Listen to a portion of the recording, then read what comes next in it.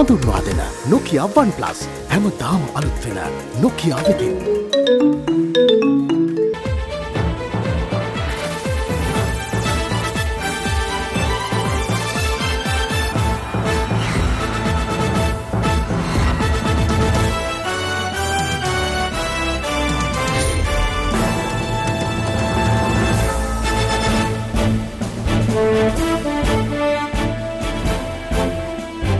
අයිබෝවන් සියලු සමීක්ෂණ වාර්තා නැවත නැවතත් තහවුරු කළ ලංකාවේ අංක එකේ ප්‍රවෘත්ති ප්‍රකාශය. පැත්ත ගියත් ඇත්ත කියන හිරු රාත්‍රී 9:55 සමගින් ඔබ හමු වන මම මරිද තිරිමාන්න. මම ඉෂාරා දේවේන්ද්‍ර මුලින්ම පුවත් සිරස්ථාන.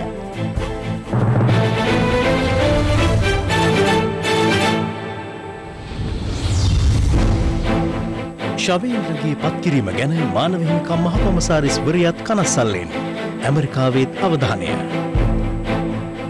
ජනපති අපේක්ෂකයා සම්බන්ධයෙන් ඉජාප නායකත්වයට මන්ත්‍රීවරු පනස් පහකගෙන් ලිපියක්. කරුණා සහ වර්ධරාජාගේ සහයත් ගෝටාබහෙට. සහරාන්ගෙන් අවිපුහුණුව ලැබූ තවත් දෙදෙනෙකු අම්පාරේදී කොටුවේ. යශුෂි අකාශී ශ්‍රී ලංකා රත්න සම්මානයෙන් පිදුම් ලබයි. මාතෘ භූමිය වෙනුවෙන් විශිෂ්ට මෙහෙවරක නිරත වූ ශ්‍රී ලාංකිකයින් ඇගයන 2019 ජාතික සම්මාන උළෙල ජනාධිපති මෛත්‍රීපාල සිරිසේන මහතාගේ ප්‍රධානත්වයෙන් අද පැවැත්වුණා. ඒ කොළඹ බණ්ඩාරනායක ජාත්‍යන්තර සම්මන්ත්‍රණ ශාලාවේදී ජාතික සම්මාන උළෙලේදී මාතෘභූමිය වෙනුවෙන් විශිෂ්ට මෙහෙවරක නිරත වූ ශ්‍රී ලාංකික පුරවැසියන් 70 දෙනෙක් ජනාධිපතිවරයා අතින් සම්මානයට පාත්‍ර වුණා. ශ්‍රී ලාංකික පුරවැසියෙක් නොවන පුද්ගලයින්ට ප්‍රදානය කරන මෙරට උසස්තම සම්මානය වන ශ්‍රී ලංකා රත්න සම්මානයෙන් පිදුම් ලැබුවේ ජපාන විශේෂ සමනියෝජිතයා ලෙස කටයුතු කළ යසුෂි අකාශේ මහතායි. ජාතිය වෙනුවෙන් කරන ලද අති විශිෂ්ට හා ප්‍රශංසනීය සේවාවට උපහාර වශයෙන් ශ්‍රී ලංකා මහ බැංකුවේ අධිපති ආචාර්ය ඉන්ද්‍රජිත් කුමාරස්වාමී මහතා ඇතුළු සය දෙනෙක් දේශමාන්‍ය ගෞරව නාමයෙන් පිදුම් ලැබුවා. මේ අතර මරණාසන්න වූ අයෙකුගේ ජීවිතය බේරා ගැනීම සඳහා තම දිවි නොතකා කටයුතු කරන අය වෙනුවෙන් සේනාධිනායකයා විසින් ප්‍රදානය කරනු ලබන වීරෝධාර විභූෂණ පදක්කම් අද රණවිරුවන් දෙදෙනෙකු වෙත ප්‍රදානය කරුණේ ජනාධිපතිවරයා අතින්. ඒ මඩකලපුවේදී දියේ ගිලී මේ යාමට ගිය සිව් දෙනෙකුගේ දිවි බේරු ශ්‍රී ලංකා ගුවන් හමුදාවේ රත්නායක මහතා සහ ගංවතුර ආපදාවකදී මෙහියුම් අතරතුර මිය ගිය ගුවන් හමුදාවේ බලලත් නිලධාරී YMS යාපාරත්න මහතා වෙනුවෙන්. මෙරට විසිතුන් වන යුද හමුදාපතිවරයා ලෙස මේජ ජනරාල් ශවෙන්ද්‍ර සිල්වා මහතා ජනාධිපතිවරයා විසින් පත් කරනු ලැබුවා. කෙසේ වෙතත් නව යුද හමුදාපතිවරයාගේ පත්වීම හෙලා දකිමින් මෙරට අමරිකානු තානාපති කාර්යාලය සහ දෙමළ ජාතික සන්ධානය නිවේදන නිකුත් කර තිබෙනවා. දවසේ පුවත ශ්‍රී ලංකාවේ විසි තුන්වන යුද හමුදාපතිවරයා ලෙස මේජර් ජනරල් ශවීන්ද්‍ර සිල්වා මහතා ජනාධිපති ලේකම් කාර්යාලයේදී අද පෙරවරුවේ ජනාධිපති මෛත්‍රීපාල සිරිසේන මහතා අතින් පත්වීම් ලිපිය බාරගත්තා. ඒ අනුව ශවීන්ද්‍ර සිල්වා මහතා මේජර් ජනරල් දුරේ සිට ලුතිනන් ජනරල් දුරේ දක්වා උසස් වීම් ලබනවා. කැඩෙට් නිලධාරියෙකු ලෙස එදහස් නම්සිය අසූ හතර වර්ෂයේදී ශ්‍රී ලංකා යුද හමුදාවට බැඳුණු ශවීන්ද්‍ර සිල්වා මහතා යුද හමුදාපති දුරයට පත්වීමට පෙර යුද හමුදා මාණ්ඩලික ප්‍රධානී දුරේද කටයුතු කළා. එමෙන්ම LTT ත්‍රස්තවාදයට එරෙහිව ක්‍රියාත්මක වූ මනුෂ්‍ය මෙහිුමේ පනස් අටවන සේනංකාධීපතිවරයා ලෙසද ඔහු කටයුතු කර තිබෙනවා. හමුදා සේවයේ ලැබිය හැකි ඉහළම ගෞරව සම්මාන වන වීර වික්‍රම විභූෂණ සහ රණ වික්‍රම ඇතුළු පදක්කම් කිහිපයකටම ශවේන්ද්‍ර සිල්වා මහතා හිමිකම් කියනවා. දෙදහස් දහය දෙදහස් පහළව කාලය තුර ඇමරිකාවේ නිව්යෝකී එක්සත් ජාතීන්ගේ ශ්‍රී ලංකා නියෝජ්‍ය නිත්‍ය නියෝජිත ලෙසද ඔහු කටයුතු කළා. මනුෂ්‍ය මෙහිුමේ අවසන් කාලයේදී කළ හමුදා මෙහියුම් අතරතුර අපරාධ සිදු වූ බවට චෝදනා කරමින් දෙදහස් එකොළහ වර්ෂයේදී අමරිකානු අධිකරණයක් මගින් ශවීන්ද්‍ර සිල්වා මහතාට නොතීසෙන් නිකුත් කිරීමටද කටයුතු කර තිබුණා. මේ අතර යුද සමයේ දරුණු අපරාධ කළ බවට චෝදනා එල්ලවන මේජර් ජනරල් ශවේන්ද්‍ර සිල්වා මහතා නව යුද හමුදාපතිවරයා ලෙස පත්කිරීම දෙමළ ජනතාවට කළ නිග්‍රහයක් මෙන්ම ඔවුන් සන්ත්‍රාසයට පත් කරවන්නක් බව දෙමළ ජාතික සන්ධානය නිකුත් කළ ට්විටර් පණිවුඩයක දැක්වෙනවා. නව යුද හමුදාපතිවරයාගේ පත්වීම පිළිබඳ කොළඹ පිහිටි අමරිකා එක්සත් ජනපද කාර්යාලයද නිවේදනයක් නිකුත් කර තිබෙනවා. එහි දැක්වෙන්නේ ශවේන්ද්‍ර සිල්වා මහතා යුද හමුදාපති ලෙස පත්කිරීම සම්බන්ධව එක්සත් ජනපදය දැඩි සැලකිල්ලකින් පසුවන බවයි.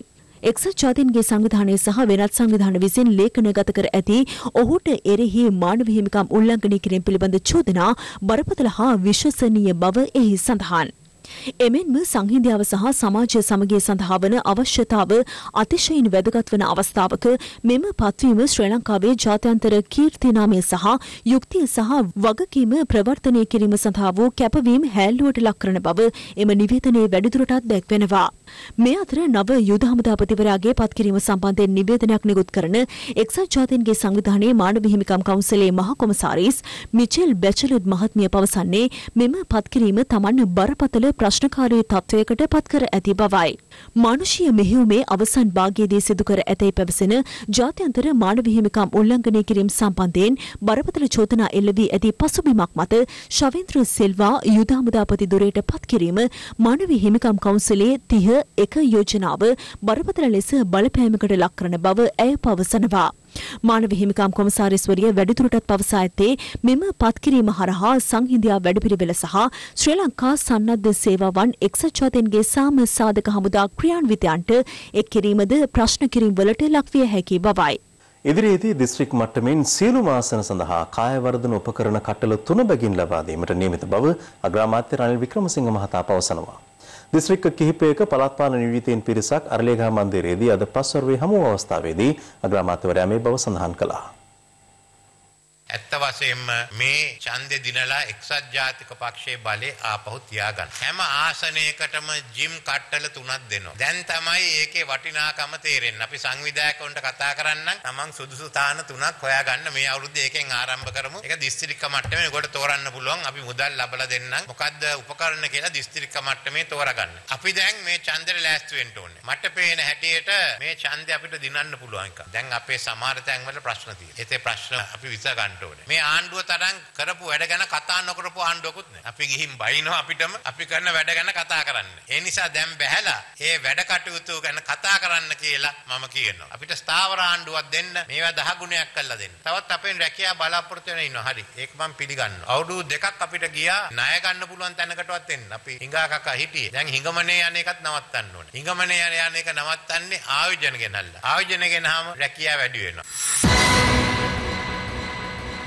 භික්ෂුන් වහන්සේ දේශපාලනය කතා කළ යුතුම බව මහාචාර්ය පූජ්‍ය ඉන්දුරාගාරයේ ධම්මරතන හිමියන් පවසනවා.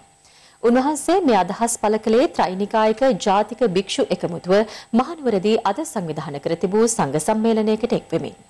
දෝෂාරෝපණයක් එනවා ආමුදුරෝරු දේශපාලනය කතා කරනවා. ආමුදුරෝරු දේශපාලනය කතා කරන්න ඕන. පක්ෂ කියන්නේ වෙන එකක්. ඒකල මොනවා ගැනද කතා කරන්නේ? අරගොල්ලෝ කතා කරනවා මේගොල්ලෝ ගැන. මේගොල්ලෝගේ අපේක්ෂකයා තාම නෑනේ. තාම නෑ. මල් දුන්නෙන් වඩින ඉලන්දාරියා. ඊට පස්සේ ඒගොල්ලෝ ඔයාවට හරියන්නේ ඕක හරියන්නේ දැන් මේ කතා කරන්නේ අපි ගැනද මේ දෙගොල්ලම කතා කරන්නේ බලය ලබා ගැනීම සඳහා වන නිර්ණායක සහ පුද්ගලයන් සම්බන්ධයෙන් අපි කතා කරන්නේ මේ රටේ තිබිච්ච සම්පත්තිකට මොකද කළේ සුද්ධ රට දාලා යනකොට බින් අඟලක්වත් පිට රටට විකුණලා තිබුණේ නැහැ. ගියපු දා ඉඳලා වැඩේ බාරගත්ත උන් මොකද කරන්නේ? ඔක්කොම විකුණන. මේ කරන විදිහට අගමැතිකම් කරන්න පුළුවන් නේ. ඕනෑම ලෑන්ඩ් සේල් කාර්යයක් කොටස් කර විකුණනු ලැබේ. කියලා බැනර් දැම්ම වික්කා. ලෑන්ඩ් සේල් කාර්යෝ කරන්නේ එහෙම. වරාය තිබ්බා. දැන් දුන්නා. ගත්ත සල්ලිකෝ සල්ලි නැහැ. නැගෙනහිර ජැටිය දුන්නා. ගත්තා. දැන් ගත්ත සල්ලිකෝ සල්ලි නැහැ.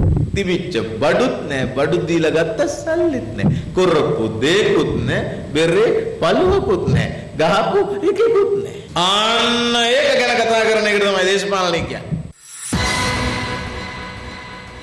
එක්සත් ජාතික පක්ෂ පාර්ලිමේන්තු මන්ත්‍රී කණ්ඩායම සහ කෘත්‍යාධිකාරී මණ්ඩලයේ එකවර රැස් කරන්නයි ඉල්ලා පක්ෂයේ නායක අග්‍රාමාත්‍ය රනිල් වික්‍රමසිංහ මහතා වෙත ලිපියක් බහර දී තිබෙනවා.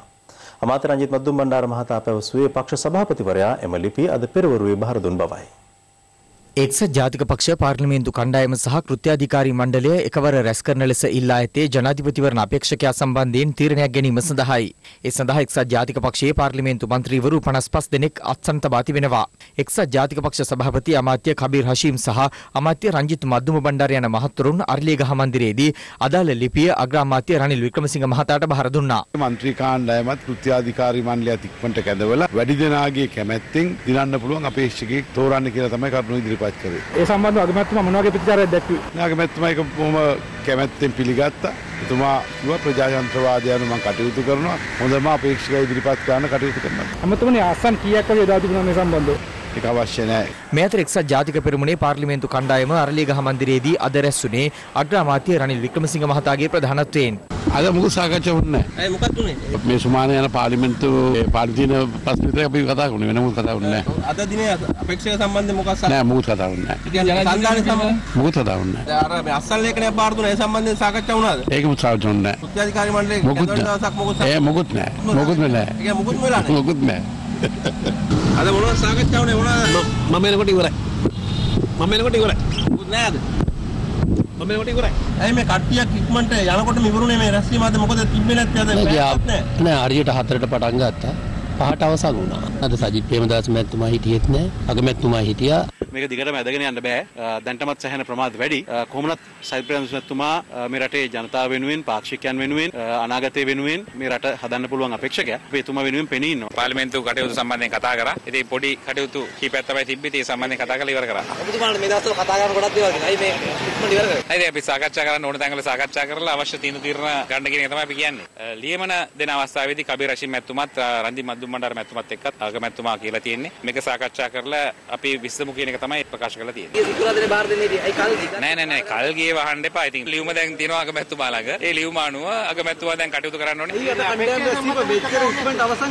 අද ඇත්තටම කවුරුවත්ම අපේක්ෂකයා ඉදිරි අපේක්ෂය ගැන අවධානය යොමු කරේ නැහැ. මේ අතර එක්සත් ජාතික පක්ෂයේ ප්‍රමුඛ නව සංධානයේ පිටුවීම සහ ජනාධිපති අපේක්ෂකයා නම් කිරීම සම්බන්ධයෙන් අදත් විවිධ අදහස් පළ වුණා. එක්සත් ජාතික පෙරමුණේ කියන අලුත් සංධානය හදන්න තාමත් බැරි වෙලා තියෙනවා. එක්සත් ජාතික පෙරමුණ දැනට දෙදරලා ගිහින්. ප්‍රශ්න තියෙනවා ප්‍රශ්න නැතුව නෙවෙයි නමුත් දෙදරීමක් නැහැ. අපි පසුගිය සෙනසුරාදා එහි ව්‍යවස්ථාව පිළිබඳ එකඟතාවයන් වලට ආවා. මේ මාසයේ අවසන් වෙන්න පෙර පෙරමුණත් අපේක්ෂකයාත් කාගෙත් එකඟතාවයෙන් එළි දකිනවා. ඔබතුමා සංධානයේ අපේක්ෂකයා දෙකම එකවර ප්‍රකාශනවත් කරනවද? එකවර ප්‍රකාශ කරනවා. සජිත් ප්‍රේමදාස මහත්තයා කියනවා සංධානයට පෙර අපේක්ෂකයා නම් කරන්න ඕන කියලා. සංධානයයි අපේක්ෂකයයි දෙකම එකට එයි ඒක සජිත් ප්‍රේමදාස මැතිතුමාගේත් එකඟතාවය. ප්‍රේමදාස් ජනාධිපතිතුමා එදා එතුමා ජයග්‍රහණය කරේ ලලිත් ඇතුළත් පුදන මැතිතුමාගේ සහ ගාමිණී දිසානායක මැතිතුමාගේ පූර්ණ සහයෝගයෙන්. එතකොට එතුමා ජනාධිපති වුණාට පස්සේ ගත්ත හොඳ තීරණ වගේම වැරදි තීරණ නිසා එක්සත් ජාතික පක්ෂය දෙකට වුණා. එහෙම නැත්නම් අදත් එක්සත් ජාතික පක්ෂය තමයි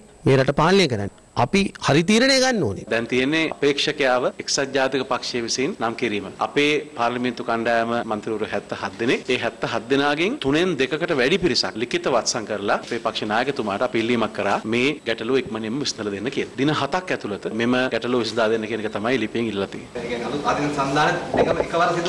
අපේක්ෂක කලින් තෝරගෙන එලි දක්වන උත්සවයකට තියන්න ඕනේ.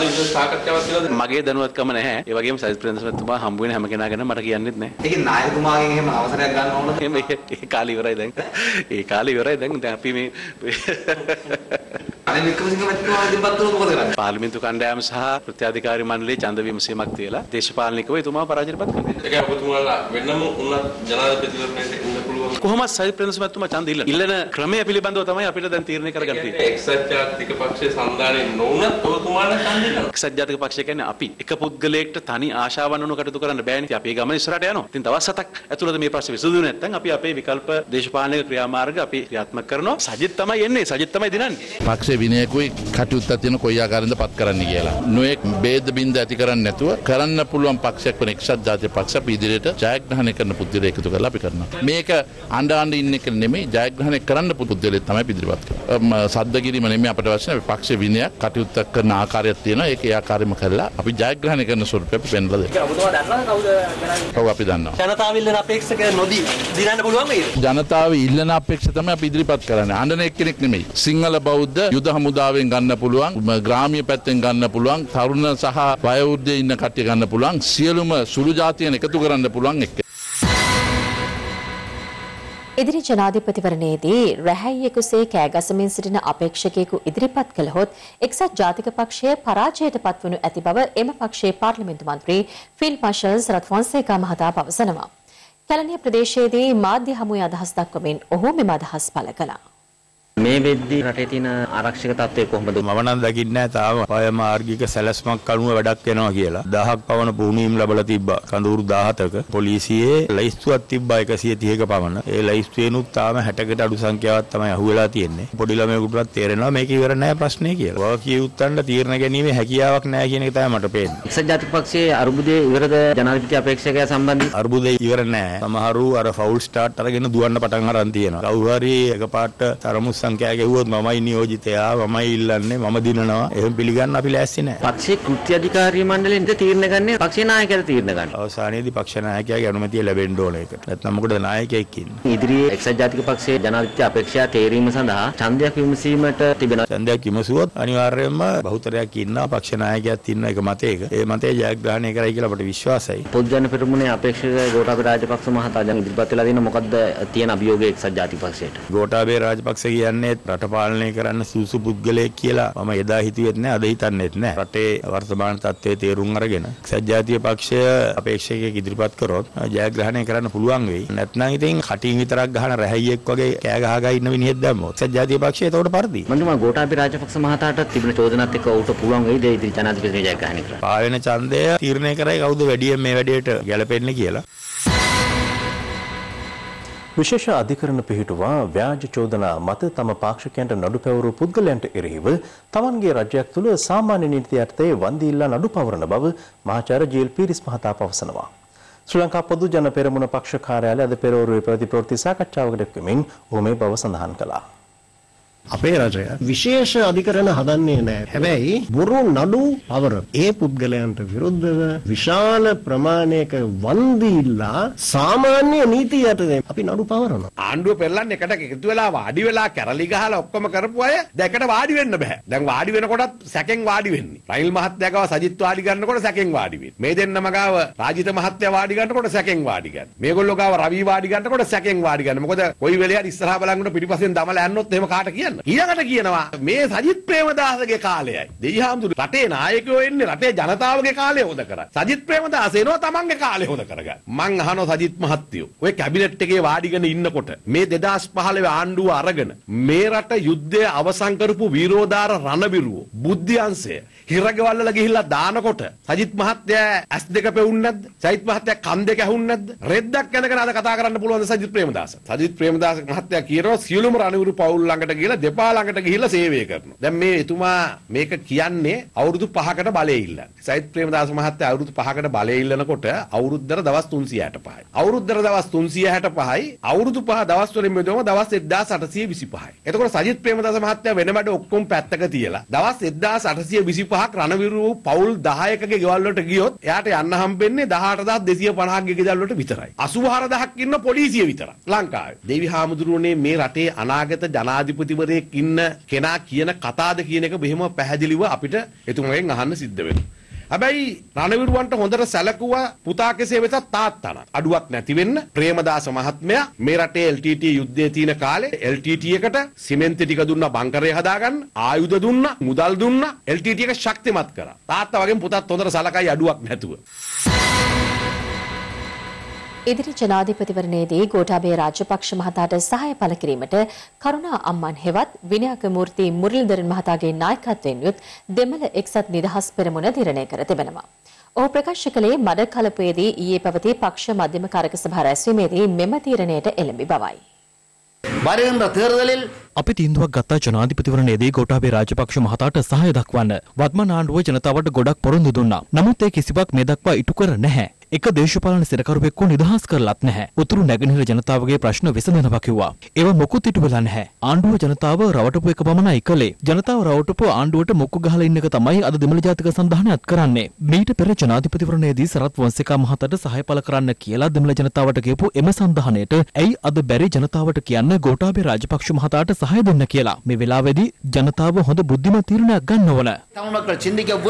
මේ අතර උතුරු නැගෙනහිර පළාත හිටපු ප්‍රධාන අමාත්‍යවරු අමාත්‍යවරයෙකු වන වරදරාජා පෙරුමාල් මහතා යාපනයේ පැවති ප්‍රවෘත්ති සාකච්ඡාවකදී පැවසුවේ ගෝඨාභය රාජපක්ෂ මහතාට ඇත්තේ දේශපාලනික වශයෙන් එල්ල වූ චෝදනා පමණක් බවයි. ஜனாதிபதியாக கோத்தபாய ராஜபக்ஷ அவர்கள் வந்தாலும் මීළඟ ජනාධිපතිවරයා ලෙස ගෝඨාභය රාජපක්ෂ මහතා පත්වුවත් ඔහු මහින්ද රාජපක්ෂ මහතාගේ මඟ පෙන්වීම යටතේ ඒ කටයුතු කරන්නේ. ඒක අප සියලු දෙනාම දන්න කරුණක්. ගෝඨාභය රාජපක්ෂ මහතාට එරෙහි චෝදනා ගැන අප දිගින් දිගටම කතා කිරීම අවශ්‍ය නැහැ. එක්සත් ජාතික පක්ෂයේ මීට වඩා දරුණු අපරාධ දෙමළ ජනතාවට එරෙහිව කරලා තියෙනවා. ඒවා හංගල ගෝඨාභයට විතරයි චෝදනා කරන්නේ. ඒ ගැන හිත හිත සිටීමෙන් ජනතාවට ප්‍රයෝජනයක් ලැබෙන්නේ නැහැ. ඒ වගේම යහපාලන ආණ්ඩුව කාලය ගත කළා පමණයි වෙනත් කිසිදු දෙයක් කළේ නැහැ. ඒ නිසා ගෝඨාභය රාජපක්ෂ මහතාට එල්ල කරන චෝදනා සියල්ල දේශපාලන චෝදනා ලෙසයි සැලකෙන්නේ. දෙමළ ජනතාවට ඒවා අමතක කර සමාව දී ඉදිරියට යාමටත් ඉන් බාධා එල්ල වී තිබෙනවා. ඒ නිසා මෙම තත්ත්වයේ වෙනසක් අවශ්‍යයි. මහින්ද රාජපක්ෂ මහතාගේ අපේක්ෂකයා ගෝඨාභය හෝ වෙන කෙනෙක්වත් මහින්ද රාජපක්ෂ මූලික කරගෙන අපි අපේ ක්‍රියාමාර්ගය ගන්නවා. மஹிந்த ராஜபக்ஷ அவர்களை மையமாக கொண்டு எங்களுடைய செயல்பாடுகள் அமைகின்றன ගොටාබේ රාජපක්ෂ මහතාගේ මැතිවරණ ව්‍යාපාරය අනුව යමින් දිවයිනේ සියලුම ප්‍රදේශවල ප්‍රදර්ශනය කර ඇති ප්ලාස්ටික් සහ පොලිතින් යෙදූ කටවුට් සහ පෝස්ටර් ගලවා ඉවත් කරන ලෙස පාර්ලිමේන්තු මන්ත්‍රී නාමල් රාජපක්ෂ මහතා ඉල්ලා සිටිනවා. තංගල්ල කාල්ටන් නිවසේ අද පෙරවරුවේ පැවති ප්‍රවෘත්ති සාකච්ඡාවකට පෙමින් ඔහු මේ අදහස් පළ කළා. අද පෝට්ටේ නායකයා අපි නම් කළා තියෙන්නේ. ඒ නායකයා විසින් ජනාධිපති අපේක්ෂකයා නම් කළා තියෙන්නේ. ඒ හින්දා අපිට අමුතුවෙන් ප්ලාස්ටික් පොලිතින් පාවිච්චි කළ මැතිවරණ ව්‍යාපාර නියැලෙන්න ඕනේ නැහැ. අද හම්බන්තොට දිස්ත්‍රික්කයේ සියලුම ප්‍රාදේශ සභා සභාපතිතුමාලා මේ මාධ්‍ය සාකච්ඡාවට සම්බන්ධ වෙනවා. පළාත් සභා මන්ත්‍රීතුමාලා මේ මාධ්‍ය සාකච්ඡාවට සම්බන්ධ වෙනවා. සහ මේ රටේ බහුතරයක් ප්‍රාදේශ සභා ජයග්‍රහණය කරේ පොජ්ජන පෙරමුණ. ඒ සියලු දෙනාමගෙන් අපි ඉල්ලීමක් කරනවා. අද ඉඳන් නගරයේ තියෙන කටවුට් පොලිතින් භාවිතා කරලා මැතිවරණ වේදිකා සරසන්න පාවිච්චි කරපු සියලුම පක්ෂවල පොජ්ජන පෙරමුණේ විතරක් නෙවෙයි එක්සත් ජාතික පක්ෂය මම දැක්කා ඊයේ ජනතා විමුක්ති මහා වේදිකාවක් ගාලා ගෝල් ෆේස් එකේ රැස්වීමක් තිබ්බා. ඒකේ පෝස්ටර් කටවුට් හැමතැනම ගහලා තියෙනවා. කාගේ රූපේ තිබුණා. ගෝඨාභය රාජපක්ෂ මැතිතුමාගේ මැතිවරණ ව්‍යාපාරය අනුව යමින් ඉල්ලීමක් කරන සියලුම පෝස්ටර් කටවුට් බැනර් නගරවලින් ගමෙන් ඉවත් කරන්න කටයුතු කරන්න කියලා. ඉතින් අපි ආරාධනා කරනවා මේ රටේ සියලුම ජනතාව ප්ලාස්ටික් පොලිතීන් වලින් තොර මැතිවරණයක් කර අරගෙන යන්න අපි දෙක එකතු වෙන්නේ කියලා. ප්‍රවෘත්ති සාකච්ඡාව අවසානයේ හම්බන්තොට දිස්ත්‍රික්කයේ ශ්‍රී ලංකා පොදුජන පෙරමුණේ නියෝජිතයින් විසින් බෙලියත්ත සහ වීරකටිය ප්‍රාදේශීය සභා බල ප්‍රදේශවල ප්‍රදර්ශනය කර තිබූ කටවුට් බැනර් සහ පෝස්ටර් මෙලෙස ඉවත් කරනු ලැබුවා.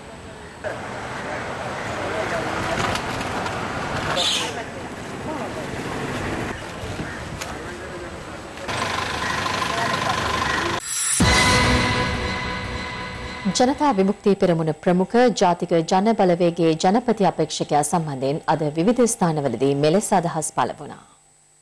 අනුකුමාර දිසානායක මහතා උදෝපේක්ෂක විපත් කරා. 62 ලක්ෂෙන් ලක්ෂ 5ක් හය කඩු වුණා මේ ඒ බොහොම හොඳයි. ඉතින් දිසානායක මහත්තයා එක්සත් ජනතා විමුක්ති පෙරමුණ හා ඊට අනුබද්ධ වාමාංශික පක්ෂ ඒගොල්ලෝ නොඑක් අවස්ථාවලදී පොදු සන්දායන්ට සහයෝගය දුන්නා. අපි එතුමාලාට සුබ පතනවා. ජනතා විමුක්ති පෙරමුණ UNP එකෙන් වෙන්ව ඡන්දය ඉල්ලනවා.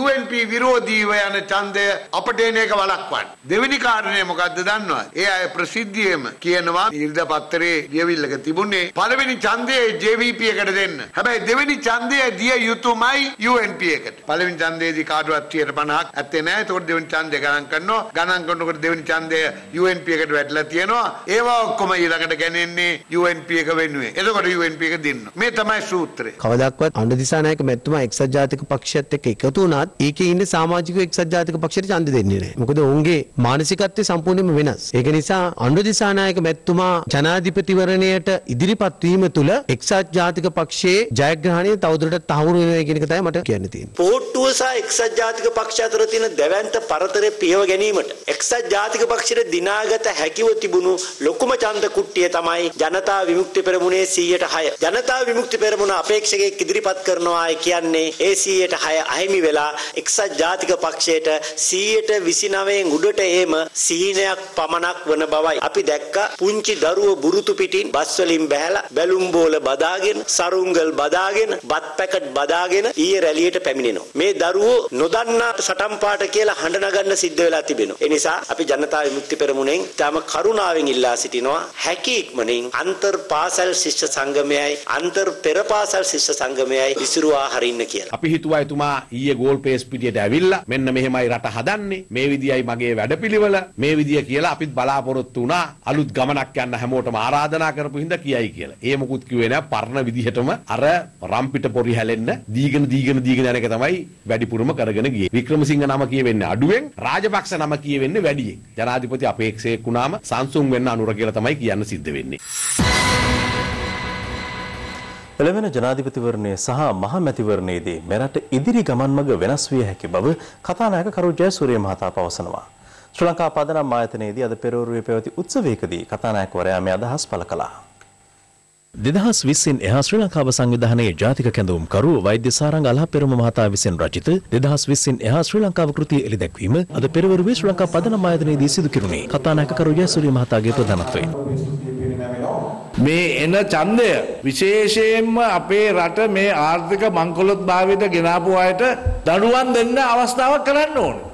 බැඳුම් කර පංචාව කරපු කිසි කෙනෙකුට ආපහු බලය හෝ පාර්ලිමේන්තුවට හෝ ජනාධිපතිකමක් හෝ ලබා දෙන්න බැරි තත්ත්වයක් මේ රටේ තියෙන්න ඕනේ. ආචාර්ය අමරුගම් මැතිතුමා 2015 සිද්ධිය සම්බන්ධයෙන් කරුණු කීපයක් කළා. මේ කසාදය ඇති වුණේ it's not a love marriage. මේක මේ යෝජනා කරපු කසාදයක්. ඒ කසාදේ අවුල්කාරෝ දෙකලා අතර ප්‍රතිපත්තිය වෙනස් තිබුණා. අවසානයේදී කැබිනට් තුල මත ගැටුම් මත වෙනස්කම් ඇති වුණා. තව පොය කීපයකින් ජනාධිපති මැතිවරණයක් තියෙනවා. ඊට පස්සේ පොය හයක් හතක් ගියාම පාර්ලිමේන්තු මැතිවරණයක් තියෙනවා. ඉතින් මේ රටේ ඉදිරි ගමන වෙනස් වෙන්නේ මේ මැතිවරණ ප්‍රතිඵල අනුව. දේශපාලනේ මම කතා කරන්න බලාපොරොත්තු වෙන්නේ නැහැ. නමුත් බලාපොරොත්තු ඇති කරගන්න. මේ ජනාධිපතිවරණයක් කටවුඩු තියාගෙන ජනාධිපති අපේක්ෂකයෝ බොහෝ ප්‍රමාණයක් දැන් එළියට එනවා. කීප දෙනෙක් නිල වශයෙන් ආවා. තව කීප දෙනෙක් නොනිල වශයෙන් රට පුරා යනවා, ලෝකෙ පුරා යනවා. අපේක්ෂකයෙක් විදියට සුදුසුයි කියන එක පැහැදිලිවම ඔප්පු කරන්න බැරි අය සමහර වෙලාවට අපේක්ෂය කියලා කියාගන්න ගමන් වෙන නීතියක් ගැන කතා කරනවා. හැබැයි ඒ මූලික නීතියවත් පිළිහිටලා ඉන්නේ නැතුව. අපි දකින සමහර ආගමික නායකයෝ සමහර විද්වතුන් ඓතිහාසික වරද්දක් කරන්නත් ඒ අයගේ විද්වත්කම ඒ අයගේ ආගමික ඥානය යට කරලා තියෙනවා. මම මේ කිව්ව කාරණාත්තේ සමහර වෙලාවට එක එක්කිනාට හිතෙයි. මම මේ කතා කරේ එක එක්කිනා ගැන කියලා. ඒක තේරුණාට කරන්න දෙයක් නැහැ ඒ හැමෝටම රිදෙන්නේ නැති වෙන්න කතා කරන්න දුමින්සානායක දන්නෙත් නැහැ නීතිපති දෙපාර්තමේන්තුවේ ඇතැම් නිලධාරීන් කටයුතු කරමින් සිටින්නේ දේශපාලන අරමුණු මත බව පාර්ලිමේන්තු මන්ත්‍රී සිසිර ජයකොඩි මහතා පවසනවා. ඒකාපත විපක්ෂයේ ආර්ථික පර්යේෂණ ඒකකය අද පෙරවරුවේ කැඳවා තිබූ ප්‍රවෘත්ති සාකච්ඡාවකදී ඔහු මේ බව සඳහන් කළා. කුරුණෑගල ප්‍රදේශයේ විශේෂයෙන්ම මේ අන්තවාදී බෝම්බ පිපිරීම හා සම්බන්ධ තරුණයෙක් අත්අඩංගුවට ගත්තා. ඔහු සතුව තිබ්බ ක්‍රෙඩිට් කාඩ් වගේ එක තිබුණ එක අංකයක් හිමි වෙලා තිබේ ශාපි සාද්දීන්ට. අපරාධ පරීක්ෂණ දෙපාර්තමේන්තුව පරීක්ෂණයක් නැහැ නීතිබද්ධ දෙපාර්තමේන්තුව අපදෙන්න කියලා කියනවා. ඔබතුමා කියන්නේ නීතිපති දෙපාර්තමේන්තුව දේශපාලනීකරණය වෙලා අනිවාර්යයෙන් නීතිපති දෙපාර්තමේන්තුවේ සමහර නිලධාරීන් දේශපාලන අරමුණු වලින් පරිගැනීමේ වෛරී චේතනා වලින් දේශපාලන ඉලක්ක වලින් මෙහෙ වෙන බව ඉතාම පැහැදිලියි. මේ අතර ත්‍රස්තවාදී නායක සහරන් හෂීම් සමග නුවරඑළිය කඳවුරේදී පුහුණුව ලැබූ ජමාතේ මිල්ලතේ ඉබ්‍රහීම් සංවිධානයේ ක්‍රියාකාරී සමාජිකයන් දෙදෙනෙකු රාජ්‍ය බුද්ධි සේවාවේ තොරතුරු මත අම්පාර පොලිස් නිලධාරීන් විසින් අත්අඩංගුවට ගෙන තිබෙනවා. නුවර ගෙලියොය ප්‍රදේශයේ පදිංචි මොහම්මදු සාහිර් මොහම්මදු අබු අමාරා යන අන්වර්ථ නාමයෙන්ද ගල්ල හිරමුර පටුමග ප්‍රදේශයේ පදිංචි මොහම්මදු අවතාන් අනිස් මොහමඩ් අබු සුබේහිර යන අන්වර්ථ නාමයෙන්ද හඳුන්වා ඇති අතර මේ වන විට අම්පාර පොලිසිය මගින් අත්අඩංගුවටගෙන ඇති මුළු සැකකරුවන් ගණන 15ක්. මේ අතර ත්‍රස්තවාදී ක්‍රියාවලට සම්බන්ධ බවට සැකපිට කිලිනොච්චිය පළයි රෝහලේ අධිකරණ වෛද්‍ය නිලධාරී සින්නයියා සිවරූබන්ද යුද හමුදාව විසින් අත්අඩංගුවට ගෙන තිබෙනවා. බැටික්ලෝ කැම්පස් ප්‍රයිවට් ලිමිටඩ් හෙවත් මඩකලපුව පෞද්ගලික විශ්වවිද්‍යාලය වහාම රජයට පවරා ගන්නා ලෙස බල කරමින් මඩකලපුව නගරයේදී අද විරෝධතා පාගමනක් පැවැත්වුණා. රට වෙනුවෙන් ජනතා බලවේගය නම් සංවිධානය විසින් සංවිධාන කර තිබූ මෙම විරෝධතා පාගමනට මහා සංඝරත්නය අන්‍යාගමික පූජකවරුන් ඇතුළු පිරිසක් එක්ව සිටියා.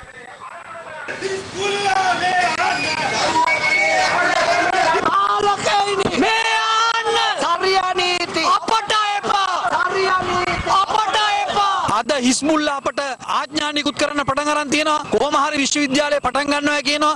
අපි හිස්මුල්ලාට කියන්නේ ඔබ විශ්වවිද්‍යාලය පටන් ගන්න කලින් සෞදි අරාබියෙන් කටර් රාජ්‍යයෙන් මුදල් ලබා ගත්ත විදිහ අද කියන්න. රනිල් වික්‍රමසිංහගේ සරණින් 2017 ගෙනාපු විදේශීය මුදල් විනිමය පනත මගින් අද ඒ මුදල් පිළිබඳ කිසිවක් අපට විමසන්න බෑ. අපි එක පණිවිඩයක් රජයට දෙන්න ඕන. ජනාධිපතිවරණ තියන්න කලින් UMPM ඇතිවරණ එන්න කලින් අපේක්ෂකයා තෝරන්න කලින් වහාම මේ හිස්බුල්ලගේ සහරාන්ලා බිහි කරන මේ අධ්‍යාපන ආයතනය වහාම වසා දමන්න කියලා අපි ඉල්ලා හිටිනවා. මේ අතර සිංහලයේ අපේ ජාතික සංවිධානයේ සභාපති පූජ්‍ය ජඹුරේවල චන්ද්‍රරත්න හිමියන් අද ප්‍රවෘත්ති සාකච්ඡාවක් පවත්වමින් අනාවරණය කළේ ආණ්ඩුව මඩකලපුව පෞද්ගලික විශ්වවිද්‍යාලයේ නීතිගත කිරීම සඳහා පවතින විශ්වවිද්‍යාල ප්‍රතිපාදන කොමිෂන් සභාව අහෝසි කරමින් නව පනත් කෙටුම්පතක් ගෙනීමට කටයුතු කරන බවයි. මේ කියන ප්‍රතීතන කොමිසන් සභාව පිහිටවීමෙන් පස්සේ මාස 6ක් ගත වෙනකොට උසස් අධ්‍යාපන කොමිසන් සභාව UGC එක අහෝසි වෙනවා. මේ ප්‍රතීතන කොමිසන් සභාවේ සමාජික 15 දෙනාගේ 9 දෙනෙක් ඉන්නවා. උසස් අධ්‍යාපන ඇමතිතුමා විසින් නම් කරන ජනාධිපතිවරයා විසින් පත් කරන. දැන් රවුෆ් හකීම් මැතිතුමා තමයි මේ 9 දෙනා එහෙමනම් පත් කරන්නේ. වැදගත්ම කාරණය තමයි මෙහි ඝනපූර්ණයේ විදිහට දක්වලා තියෙන්නේ සමාජිකයෝ හතර දෙනෙක් ඉඳීම ප්‍රමාණවත්. මඩකලපුව චර්යා විශ්වවිද්‍යාලය නීත්‍යානුකූල කර ගැනීම සඳහා ඉතාම පහසු ක්‍රියාමාර්ගයක් මේගොල්ලෝ අනුගමනය කරලා තියෙනවා. එම කොමිසමේ නිලධාරීන්ට කිසිදු කාරණයක් මත ලංකාවේ නීතියට අනුව දඬුවම් කරන්න බෑ. මේක පුදුම තරම් බලාත්මක කොමිසමක්. කෞතිසා දිව්‍ය ලෝකයේ වගේ කොමිසන් සභාවක් තමයි මේගොල්ලෝ මේ පත් කරලා තියෙන්නේ. රාජිත සේනාරත්න මහත්මයාත් රනිල් වික්‍රමසිංහ මහත්මයාත් පාටලි චම්පික රණවක මහත්මයාත් මංගල සමරවීර මහත්මයාත් එකතු වෙලා තමයි මේ සැලසුම සකස් කරන්නේ. මේ පනත බ්‍රාස්පතින්දා සම්මත කරගත්තොත් අපි නොනවතින අරගලයක් පටන් ගන්නවා මඩකඩපුවේ ශරියා විශ්වවිද්‍යාලයේ ඉදිරිපිට කිසිදු පුද්ගලයෙකුට නීත්‍යානුකූලව හෝ නීතියෙන් පිට විශ්වවිද්‍යාලයට අපි ඇතුල් වෙන්න දෙන්නෙත් නැහැ. හිරගෙවල් හතක දැම්මත් ඒ වැඩේ අපි කරනවා. මේ අතර සුරකෙම ශ්‍රී ලංකා සංවිධානය රජයේ වෛද්‍ය නිලධාරීන්ගේ සංගමය සහ සයිටම් විරෝධී දෙමාපිය සංසදයේ නියෝජිතයන්ගෙන ඒමට යෝජිත නව පනත් කෙටුම්පතට එරෙහිව උසස් අධ්‍යාපන අමාත්‍යාංශයට අද සංදේශයක් බහර දුන්නා. ඉතිහාසයේ මේ රටේ බිහිවෙච්ච මේ ගේන අවාසනාවන්ත පනත් කෙටුම්පතක් අධ්‍යාපනය වෙනුවෙන් මේ ගේන්න හදන්නේ ඒ නිසා උසස් අධ්‍යාපන අමාත්‍යවරයාගේ ජාතිවාදී අදහස ජාතිවාදී අරමුණ වහාමිවත් කරගන්න කියලා කියනවා. මේ අතර රජයේ වෛද්‍ය නිලධාරීන්ගේ සංගමය අද කැඳවා තිබූ ප්‍රවෘත්ති සාකච්ඡාවකදීද මේ සම්බන්ධයෙන් අදහස් පළ වුණා. මේ ප්‍රතිතන කමිෂන් සභා පනත වහාම හකුලා ගත යුතුයි කියන තර රජ්‍ය බන්ධාරංග සංගමේ ඉන්නවා. වෙන වෙන වශයෙන්ම ඒකාබද්ධවත් අපිට ගන්න පුළුවන් උපරිම ක්‍රියාමාර්ග මේ වෙනුවෙන් ගන්න අපි තීරණය කළා තියෙනවා. උසස් අධ්‍යාපන ශ්‍රේෂ්ඨයම විනාශය කරා ගෙන යන එක වළක්වන්න. දැන් තවත් දේශීය පුවත් කීපයක් සමගින් රටවටා හිරු. රටවටා හිරු. පුනරුත්ථාපනය සහ නැවත ගොඩනැගීම පිළිබඳ ජපන් සාම නියෝජිත යසුෂී අකාශි මහතා විපක්ෂ නායක මහින්ද රාජපක්ෂ මහතා අද හමු වුණා. ඒ විජේරාමයේ පිහිටි විපක්ෂ නායකවරයාගේ නිල නිවසේදී. මේ අතර ශ්‍රී ලංකාවේ කැනඩා මහකොමසාරිස් ඩේවිඩ් මිකිනොන් මහතා විපක්ෂ නායක මහින්ද රාජපක්ෂ මහතා මුණගැසුනේ රටේ පවතින වත්මන් තත්ත්වය පිළිබඳ සාකච්ඡා කිරීම සඳහායි. බදුල්ල සතුස්ස සංකීර්ණයේ තොග ගබඩාවක තිබී සොයාගත් පිළිකා ඖෂධ අපද්‍රව්‍ය තොගෙන් මහජන පීඩාවක් ඇති නොවන බව මධ්‍යම පරිසර අධිකාරිය සහතික කර ඇතැයි සෞඛ්‍ය සේවා අධ්‍යක්ෂ ජනරාල් වෛද්‍ය අනිල් ජයසිංහ මහතා පවසනවා. කළුතර තිබුවන ට්‍රොයිට් වතුවයේ ජීවත් වූ පුද්ගලයෙකුගේ මෘත ශරීරයක් එම වත්තේ භූමදාන නොකරන ලෙසට වත්තේ හිමිකරු විසින් කළ පැමිණිල්ලකට අදාළව තහනම් නියෝගයක් රැගෙන පොලිසිය එම ස්ථානයට පැමිණියත් නියෝජ්‍ය අමාත්‍ය පාලිත තිප්‍රප්පරම මහතා ඊට විරෝධය පළ කිරීමත් සමග උණුසුම් තත්වයක් ඇති වුණා. මේකේ බුදු සුසාන භූමියක් කියලා මේ ගැසට් වෙලා තියෙනවා. ඔව් ගැසට් එකේ තියෙනවා. කොයි මට ඒක දෙන්න. ඔව් ගැසට් එකේ තියෙනවා. දැන් මේ මිනිහා මම ගැසට් එකේ මම ගැසට් එකේ තියෙනවා. එහෙම නැතුව සර් මේකේ මේ මේ මේ යන්න යන්න යන්න. ඔය යන්න. බම්බු ගන්න නැතුව. මිනිහා ඔය පුළුවන් නෑ මේ මේ කරන්න පුළුවන් නෑ. බලන්න පුළුවන් නෑ. ගාන උසාවි නියෝගය ඔයා කියලා කියන උසාවි නියෝගය අපි ගන්න කරා. අයිතිකාරට ගිහින් අයිතිකාරට ගිහින් එන්න කියන්නේ. මේක අයිතිකාරට ගිහින් කරනවා. බොරු කියන්නේ බොරු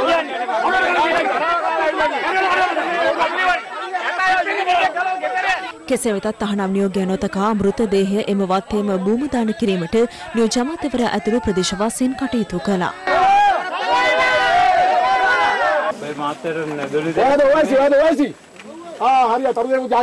රට වටා හිරු.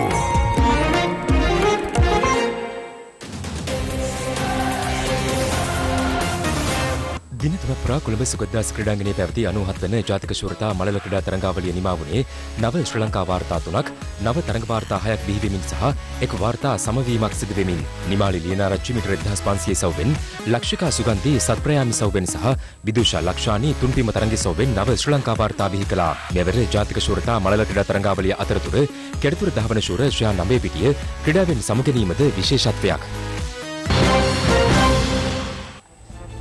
ඒ සමගින් අදට අපි සමුගන්නවා. පැත්තක් නැතුව ඇත්ත දැනගන්න තිරේ දිසුන පරිදි ඔබගේ ජංගම දුරකථන ජාලයට අනුව හිරු ප්‍රවෘත්ති SMS සේවාව සක්‍රිය කරගන්න. හමුවමු හෙට සවස 6:55ට. සුබ රාත්‍රියක්.